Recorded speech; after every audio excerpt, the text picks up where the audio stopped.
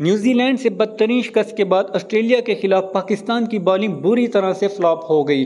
Asia cup में पाकिस्तान की बदतरीन कारकर्दगी का सिलसिला शुरू हुआ था, जो कि वर्ल्ड कप के वार्म अप मैचेस में भी जारी है।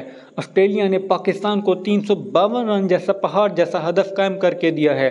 न्यूजीलैंड की दफ़ा मोहम्मद रिजवान की शानदार सेंचुरी के बदौलत पाकिस्तान ने न्यूजीलैंड को 345 जैसा पहाड़ जैसा हदफ कायम करके दिया था, जिसको न्यूजीलैंड ने बासानी पाँच विकटों में पूरा कर लिया था।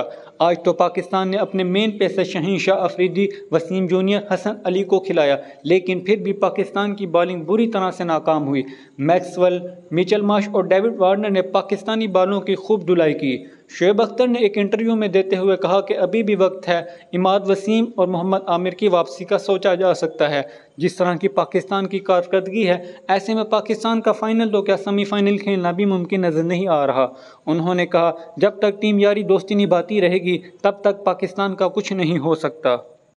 उन्होंने मजीद ये भी कहा कि वसीम जूनियर को किस बुनियाद पर बार बार टीम में खिलाया जा रहा है, उनसे तो बेहतर है कि आप जमान खान को खिला लेते।